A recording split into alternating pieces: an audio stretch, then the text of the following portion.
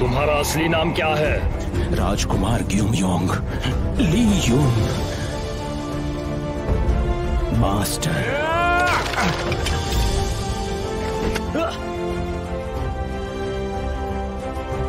सौ गुनी ले लो। तुम्हें जो चाहिए वो मैं दूँगा। बस ये दरवाज़ा खोल दो। हम वक्त इसी वक्त तुम सबको कड़ी सजा दूँगा। ये हमारे युवराज है। गलती करने की कोशिश मत करो।